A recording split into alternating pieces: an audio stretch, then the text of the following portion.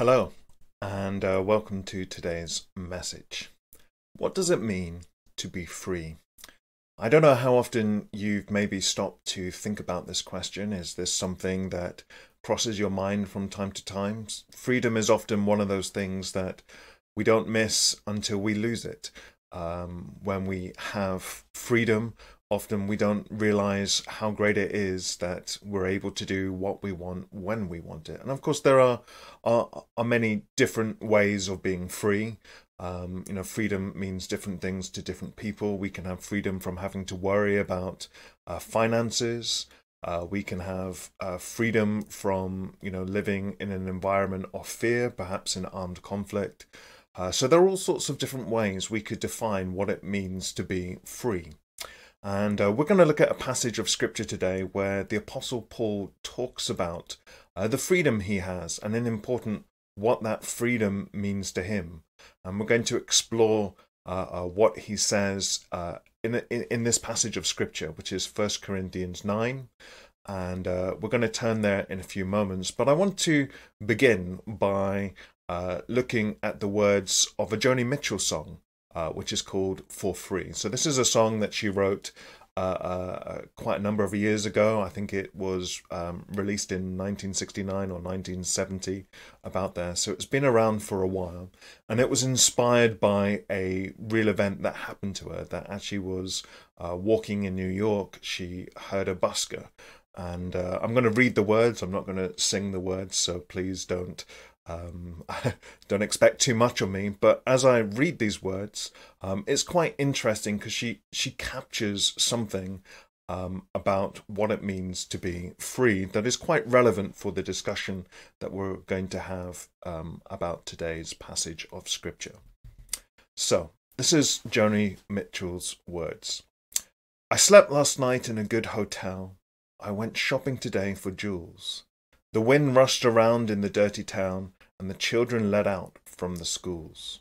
I was standing on a noisy corner, waiting for the walking green. Across the street he stood, and he played real good on his clarinet for free.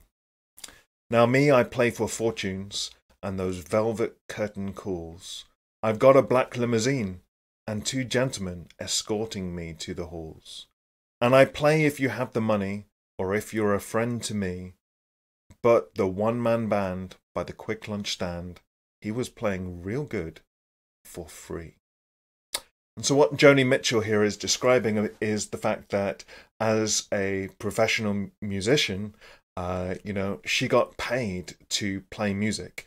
Uh, but as she was passing by, there was just a busker on the street, and for him, it wasn't even about the money, it was just about playing and uh, she was really struck by how fantastically um, he was playing. And and this is going to be relevant to where we pick up in First Corinthians. Uh, uh, uh, chapter 9 because in First corinthians chapter 9 the apostle paul is addressing one of the challenges that he's facing with the corinthian church and that is that they want to give him money and uh, uh, this is significant because the apostle paul uh, prides himself in basically not needing uh, support, in supporting himself as he travels around uh, sharing the gospel. And if you don't know how he does that, the main reason he does that is that he's a tent maker.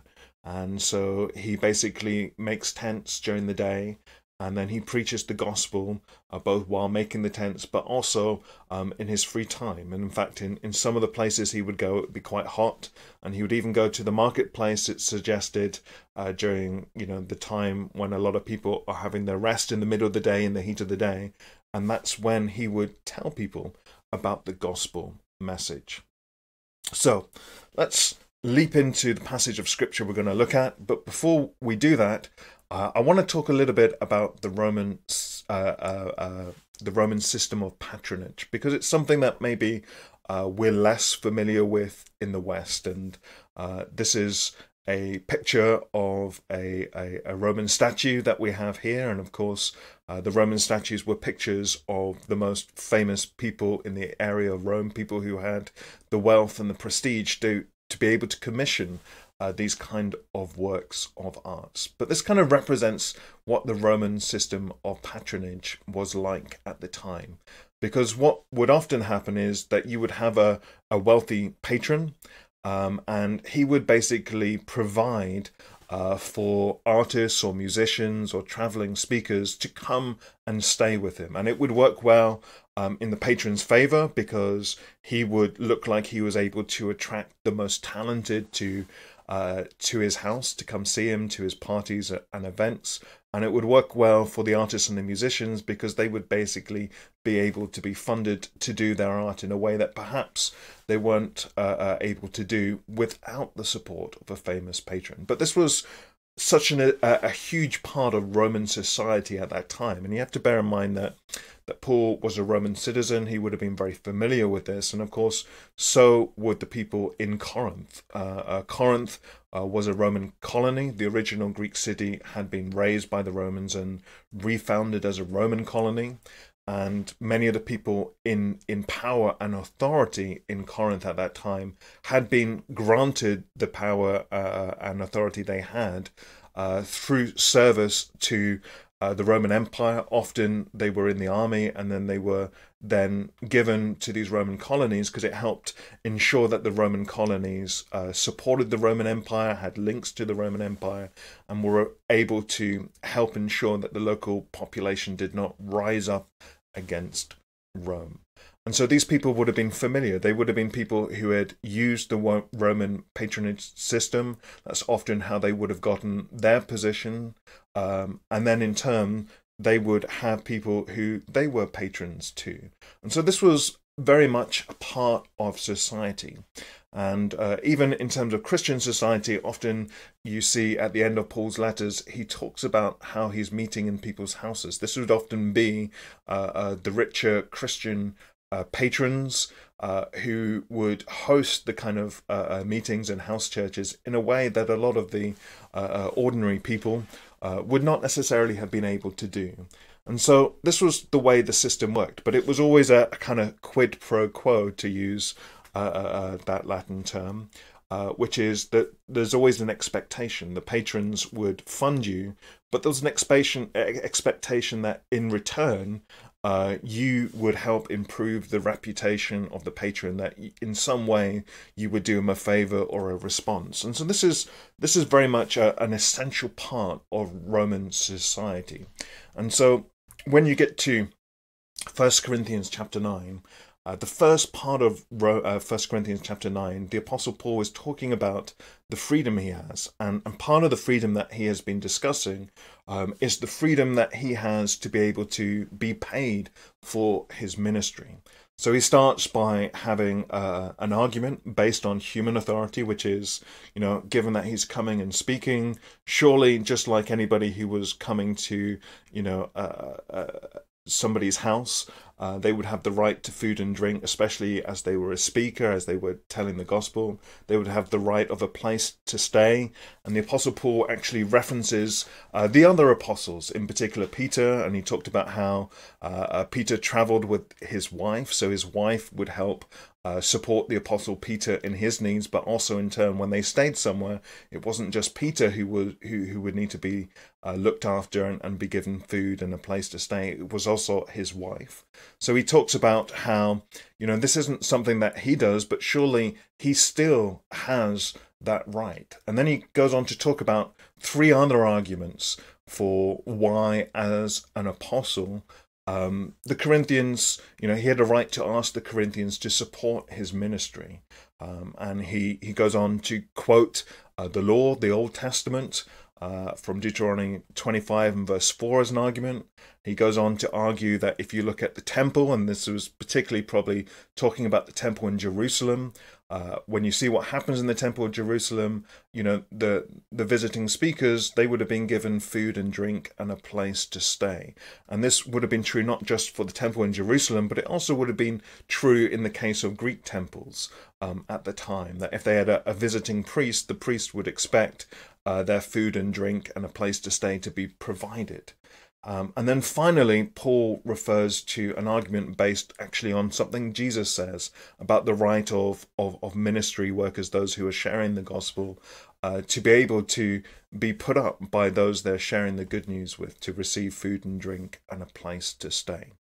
And so, so Paul is talking all about this, but it's important you understand he's not saying all this because he wants the Corinthians to provide for his food and drink or provide him a place to stay or even to support um, his ministry that he's engaged in. The point he is making is that he's not looking for the Corinthian support. And it's interesting when we think about maybe why the Corinthian church wanted to support uh, Paul and why Paul had so many reservations about it. And I think one of the important things to think about is the fact that if the Corinthian church was giving Paul money, they also would have had expectations of the Apostle Paul. And the Apostle Paul, by not accepting their money, meant that he didn't need to have those expectations. And we're going to pick up uh, uh this story towards the end, but it's important that we bear in mind that that even we in our lives, as we approach things in today's society, money means so much. And if somebody gives you money, often there's an expectation of something in return. And sometimes that expectation is not even something that is is said outright, but there is an expectation. And, and that can be even true in the case of when we give money to the church. If we give money to the church, we can have an expectation that we're going to get something in return. And so there can be difficulties in terms of whether it's right to accept money or not. And uh, often, in the case of charities, in particular in the UK, and uh, uh, in the case of a charity, they need to be careful about where they accept money from, because it's possible that the money comes with strings uh, that would not align with their charitable status. And that's also true for the church. It's possible that people could give you money on the condition that you do something that maybe isn't in the best interest of the church, or maybe even more particularly, could contradict uh, uh, you know, or, or, or put the church in a, a moral dilemma. And so these are concerns that perhaps the Apostle Paul is is is, is having. That he's concerned about letting the Corinthian church become his patron, because if you read through a lot of his letter, what he has to do a lot of the times in Corinth is correct them. Um, you know, in his letter, he doesn't shy away from pointing out when they've got something wrong or when they've misinterpreted something. And so here, when we're picking up this story about um, what is going on in First Corinthians chapter nine, uh, we need to be aware that, that that for the Apostle Paul, this could be one of the reasons he's turning down uh, their patronage um, in this particular case. Um, but let's move on and look at First Corinthians 9, and we're going to pick this up in verse 16. So, this is what the Apostle Paul is saying here. He says, for if I preach the gospel, that gives me no ground for boasting, for necessity is laid upon me. Woe to me if I do not preach the gospel. For if I do this of my own will, I have a reward. But if not of my own will, I am still entrusted with the stewardship. So what he's saying is he's he's talked and come back to them about how he's not uh, looking for money, how he has a right uh, uh, to request uh, uh, uh, that the Corinthian church support him, but that's not what he's doing. He's not exercising his right as an apostle, uh, as based on the arguments that he's made. Um, and when he preaches the gospel, it gives him no ground for boasting, is what he's saying. He doesn't preach the gospel so that he has a living. And of course, this this this can be a danger for anybody who enters into paid ministry. Is that you end up doing paid ministry because you have to, as opposed to because you want to or you feel called to it. And uh, that can be true in any situations. And and so often, so much of it comes to our own uh, uh, approach to a particular situation. Uh, you know, there are times when we can think of uh, uh, going out and doing the gardening as something that we really want to do and there are times when we can think about it as a chore. And if we think about it as a chore we can really not want to do it and put it off. But if we think about you know it's it's a lovely day i want to spend it out in nature you can go out and do the gardening and, and really enjoy yourself. And of course there are other circumstances like that in our life where our attitude changes so much uh, but what the Apostle Paul here is saying is that when he preaches the gospel, it's not so that in some way he would be built up or provided upon. Uh, in fact, he goes further and says that preaching the gospel he feels is a necessity that is laid upon him. It's something that, that, that he has been called to do, something that Christians are called to do, to share the good news, to tell people what Jesus Christ has done. And, you know, this is really important when we think about mission because, again, often when we think about sharing the gospel with others of outreach and evangelism, we can have the wrong attitude. We can view it as if it's a chore, something that um, we have to do, that we're required to do.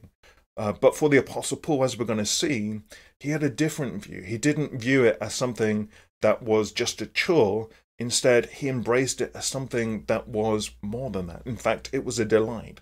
And at the heart of this is our own understanding of what the gospel message is is the gospel message good news?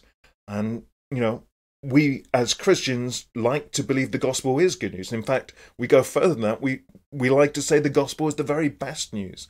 Understanding who Jesus Christ is and what he has done for us through his death on the cross and through his resurrection. When we understand that, it changes everything. It changes our identity. It changes our understanding of the world around us, our understanding of our relationships. It changes, you know, our understanding of what love is, our understanding of what our future is, what the world's future is, what God's plans are. You know, understanding Jesus Christ is good news. And if it's good news, why wouldn't we want to share it with those, particularly to share it with those who need it the most, to share it with those who we know it would have such a positive impact on their life, to share it with those that we are closest to in our life? And so here he talks about in terms of necessity, but we need to understand that attitude plays a part on this. And to some degree, this is what we'll see he pulls out of this verse. But he goes on to explain more about why he tells the gospel message and why he supports himself in doing so. So, for necessity is laid upon me to share in the gospel, and woe to me if I do not preach the gospel. For if I do this of my own will, I have a reward, but if not of my own will, I'm still entrusted with a stewardship.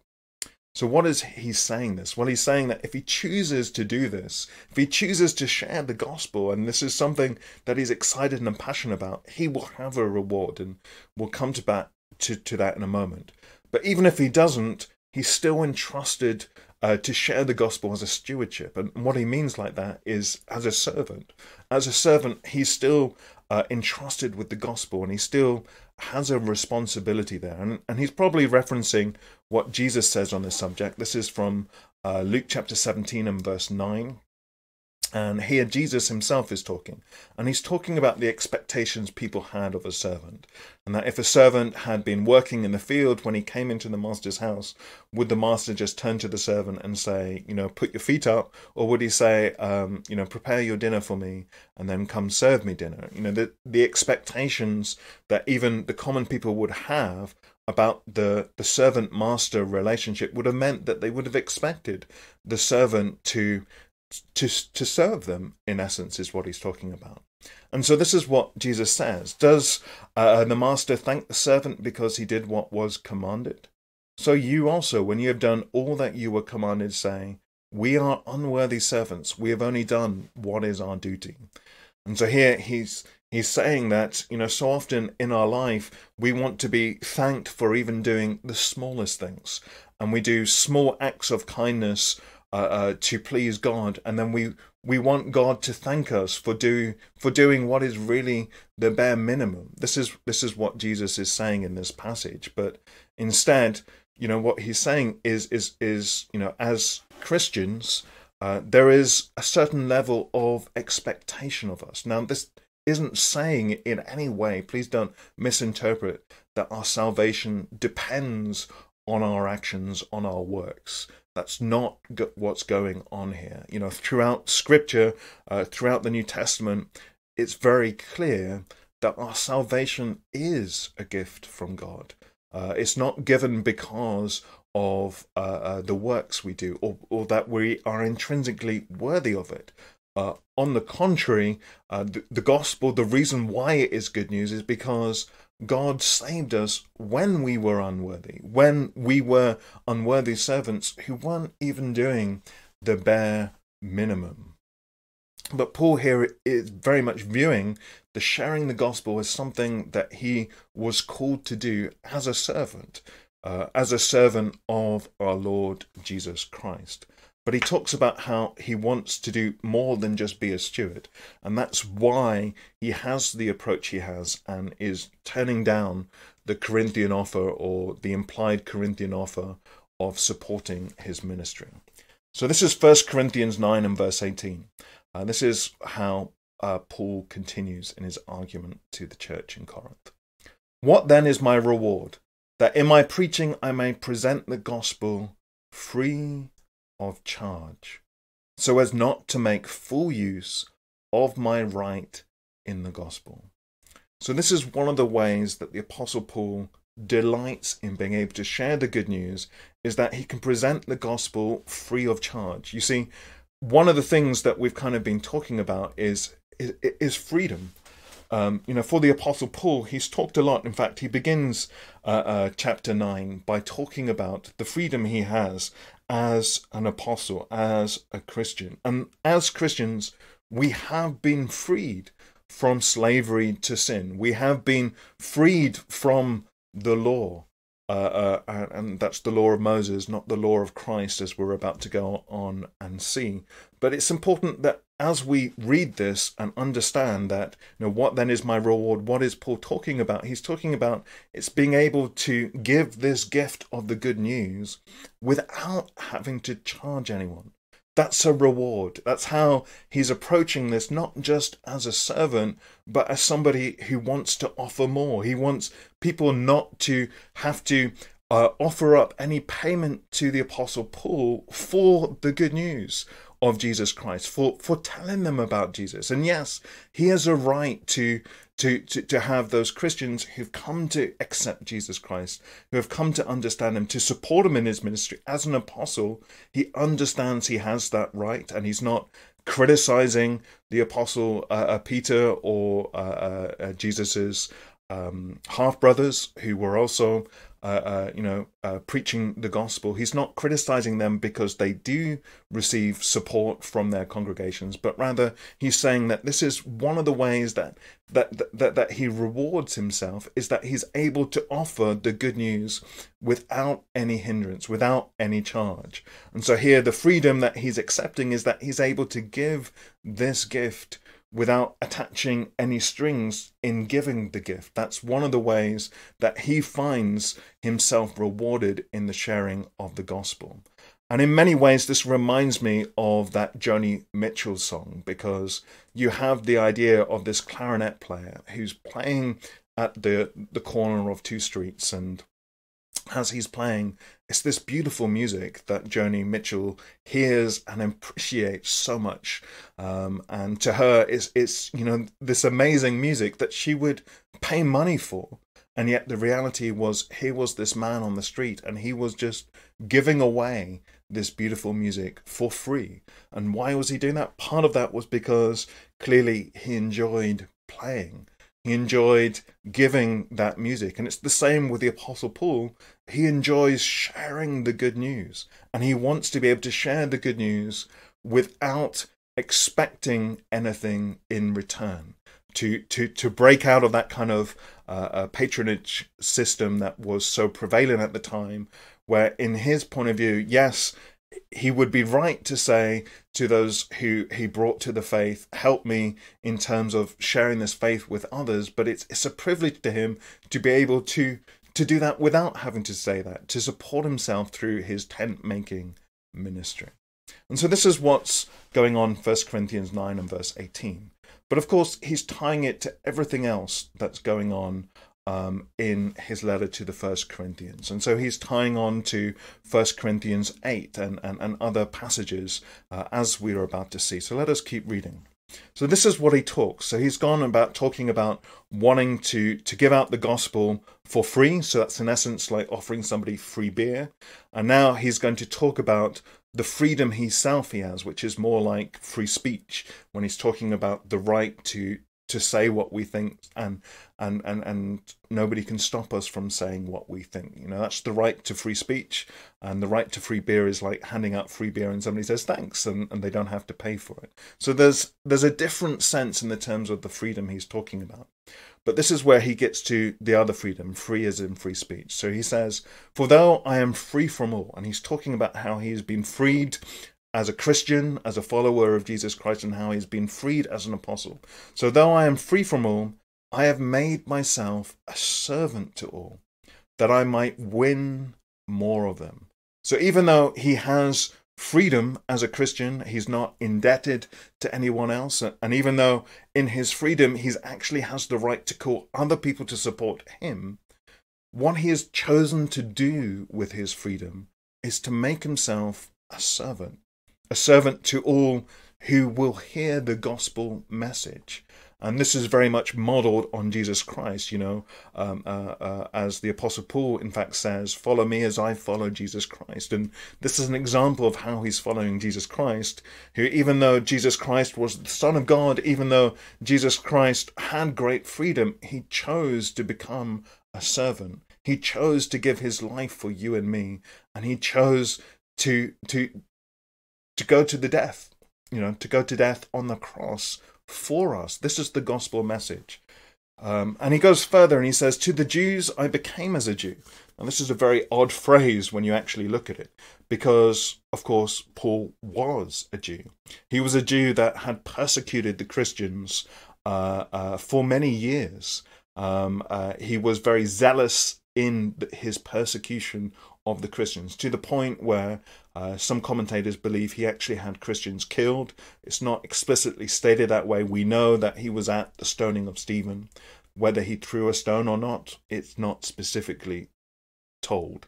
Uh, but we do know that uh, uh, he looked to persecute the Christians as much as he could and, and actually looked to be sanctioned so that he could increase his persecution of the Christians. He viewed them as a dangerous sect of, Christianity. But here we see that as he's the way he's phrasing this, to the Jews I became as a Jew. To him, he was no longer a Jew. He had been freed from thinking in the narrow confines of thinking of himself as just being Jewish. He was now Christian. He was now thinking of himself primarily in terms of a follower of, or of Jesus Christ and thinking of himself as being part of humanity as a whole as opposed to just being part of a, a, a racial or an ethnic group.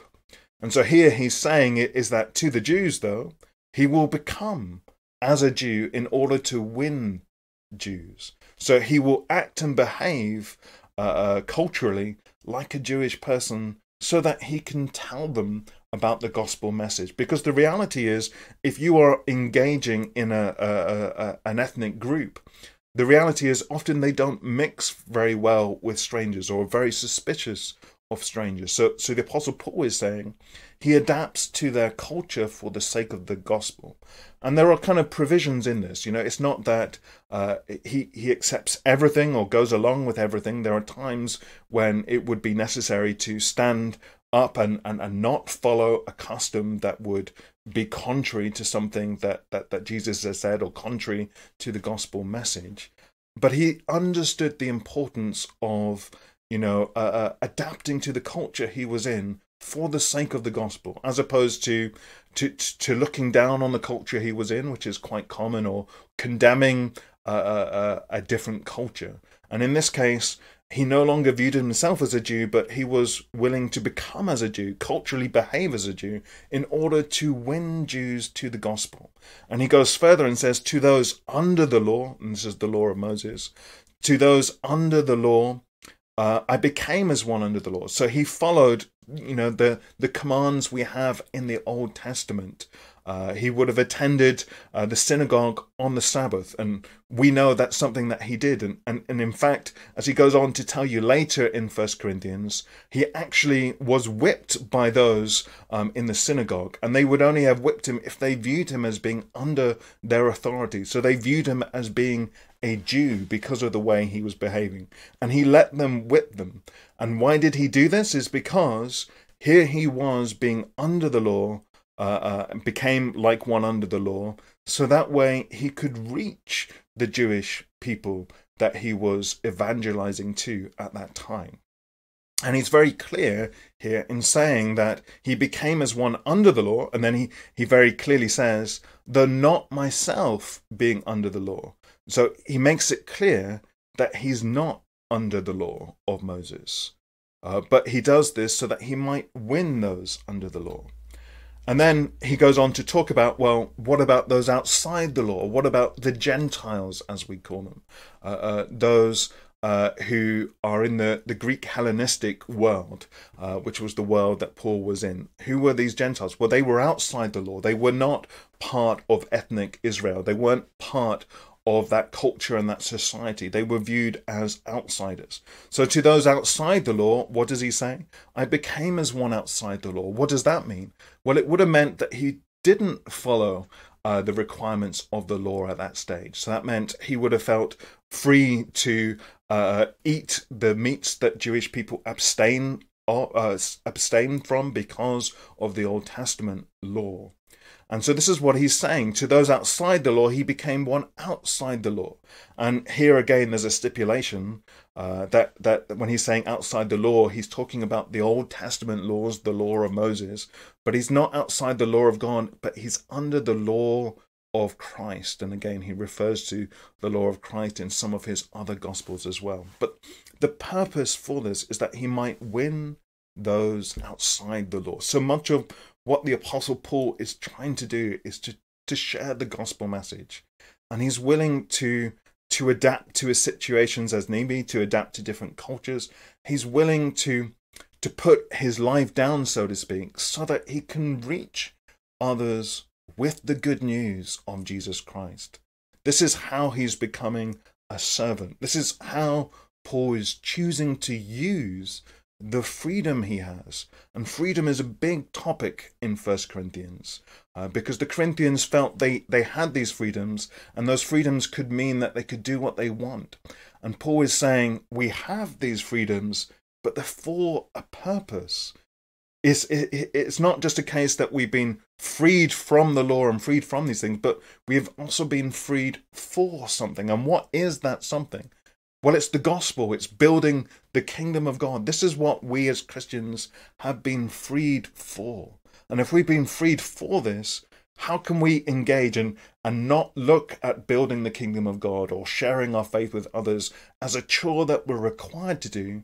How instead can we look at as a privilege? How can we turn things around and change our attitudes and lay down our life as Paul does to reach those that we know the gospel will have a tremendously positive impact upon.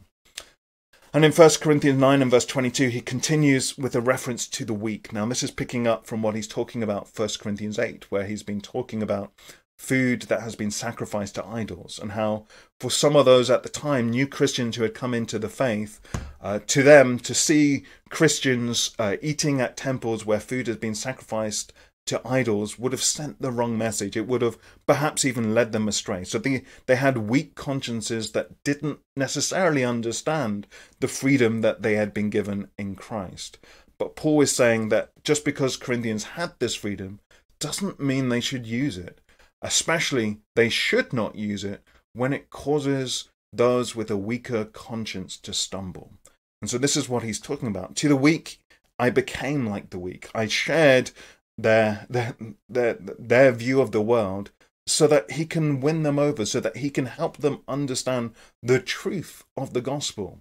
And when in due time they understand the truth of the gospel maybe the time will come when they will no longer need to worry about whether food has been sacrificed to idols because they will understand the truth that there is one true God and that all the other so called gods are just false gods and that there is nothing to be fear because there is one creator God and he has shown through Jesus Christ that he is for them.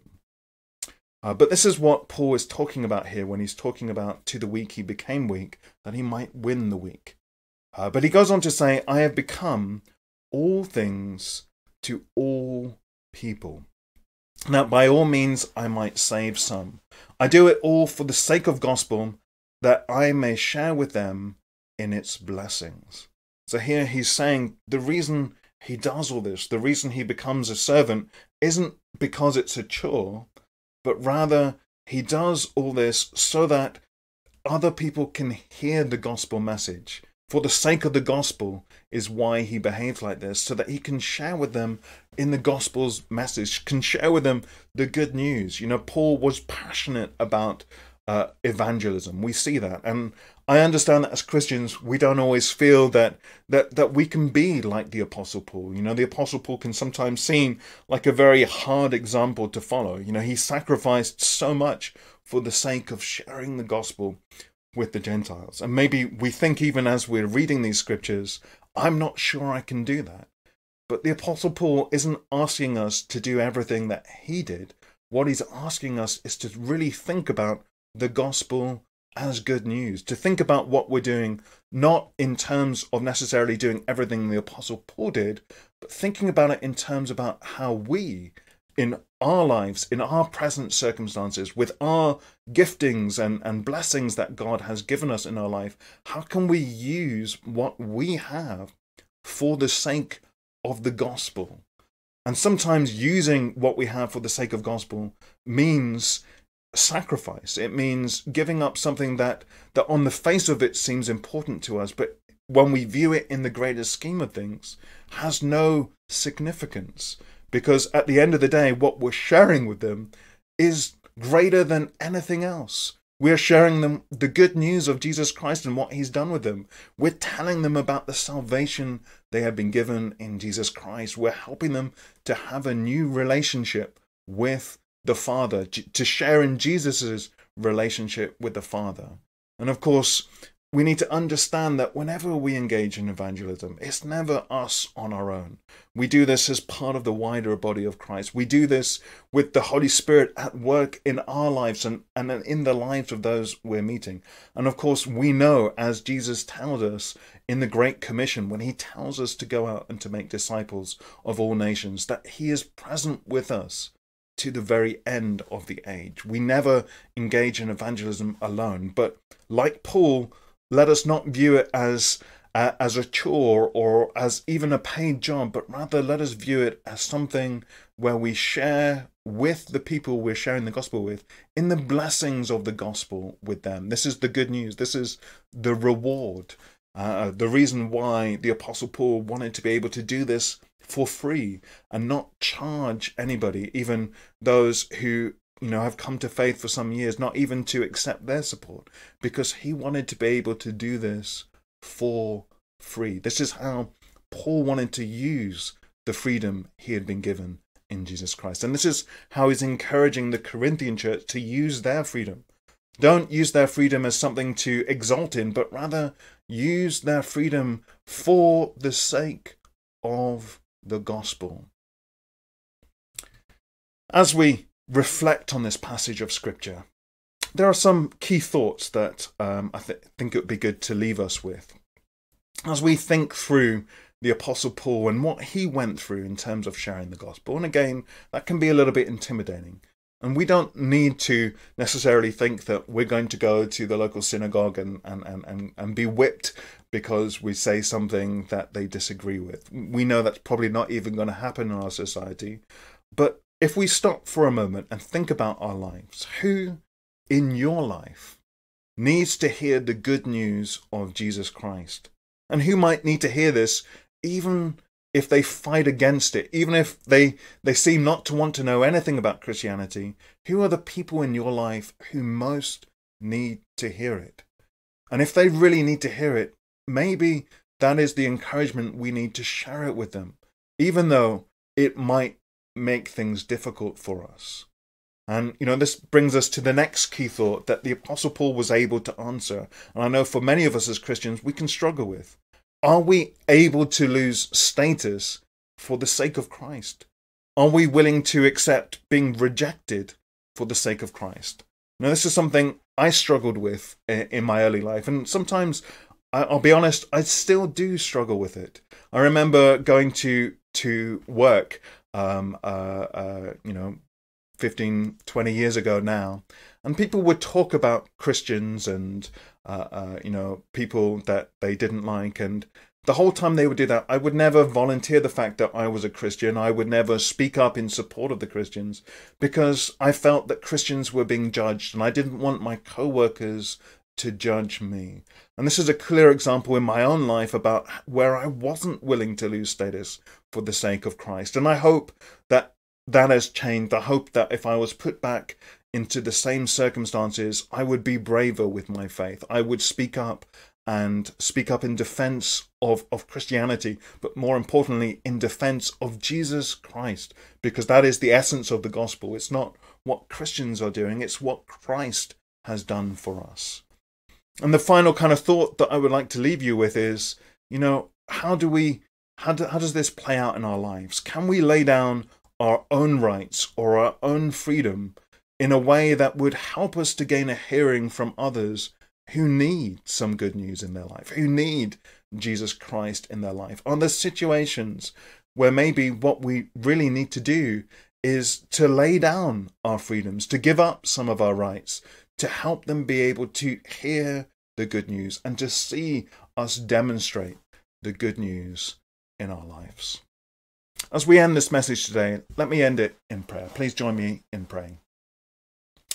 Heavenly Father, Father, we thank you so much for the Apostle Paul. We thank you.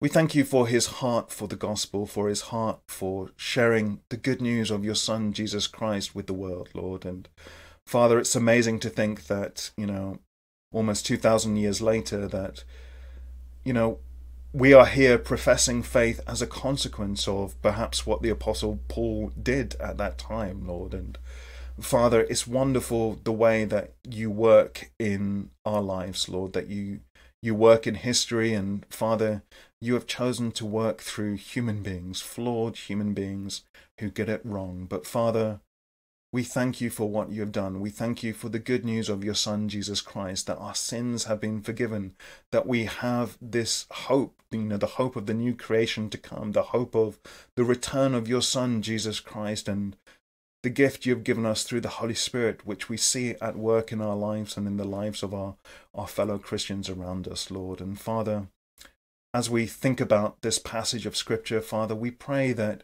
you help us to follow in the footsteps of Paul, who in turn was following in the footsteps of your Son. Father, we help us to not try to hold on to the status we have at the cost of the gospel. Help us to be willing to to lose status. Help us to be willing to make the sacrifices in our life that we need to make for the sake of your gospel, of your good news, for the sake of building the kingdom of God. Because, Father, we know that that is the most precious thing we have in our life. Nothing we have is of the same value, even remotely, Lord. And so, Father, let us give up everything we have for the sake of the gospel. And Father, we know that we need help doing that. That's not something that is is natural. That's not something that is part of our sinful nature. We can only do that through you at work in us, through your Holy Spirit at work in us, Lord. And and so, Father, we just pray for your help. Please let us be your messengers. Please let us share the good news and let us do it not for the sake of, you know, it being a chore, but let us fix our eyes firmly on on the reward, the reward that comes from sharing the good news with others, of sharing in the blessings of the gospel with others, Lord. And so we just we give everything over to you. We praise you. I ask that you be with everybody listening to this this this message, Lord. Please encourage them and be with them, whatever their circumstances may be. And we say this in the name of your Son, our Savior Jesus Christ. Amen. So Thank you so much for joining me for this message today. And I do hope that you will join us uh, for the Bible study this coming Wednesday at 7:30 p.m. Uh, so please do uh, uh, try and join us then. Uh, and we'll also be back next Sunday at 11 a.m. Uh, with another YouTube premiere. So please don't forget us then as well. Therefore, my beloved brothers, be steadfast, immovable, always abounding in the work of the Lord, knowing that in the Lord your labour is not in vain.